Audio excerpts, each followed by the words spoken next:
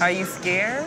I mean, I'm fine. I just want he feel comfortable because he is to make more money. Yeah, just just stay on top of him.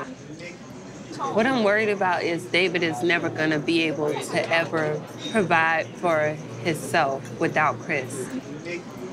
Like even when he first went over to Thailand, he would still find ways to indirectly ask for things. Like with you guys' engagement party, he got money from Chris for your for your jewelry.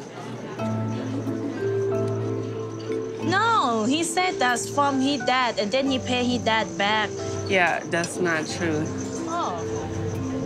I don't know David borrow money from Chris. I don't want him to borrow money with anybody for me. Like him can take care of me. Even like with the whole visa process, Chris had to co-sponsor to help David bring you here to prove that David had the means to provide for you. Did you know that? I know that Okay. because in my paper have uh, Chris to be co-sponsor because if I don't have money, Oh, saying he will help. he will help. That's Okay, that about me. sense. Okay. Yeah. How, how long does someone sponsor a K1 visa? For 10 years. Yeah, That's a lot. I know, but I didn't know. if I cannot take care of myself, Chris have to pay for me. That's that's news to me. I did That's not know That's new to you, but I think Chris know before he be my co-sponsor because he, has has to, to, know. live. Yeah, he has to He know. live everything, but he just don't want to tell you. I think Nikki, she upset to find out she husband Chris to be my co-sponsor for 10 years.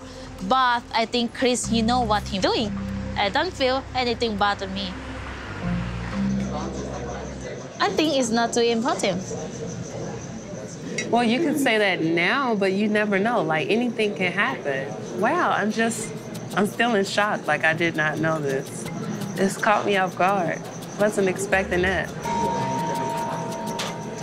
So tonight I found out that we are legally responsible for Annie for 10 years. If Annie and David are married and then they decide to get divorced, David is probably not gonna want to support Annie, which means we'll probably be stuck supporting Annie. So I'm a little pissed.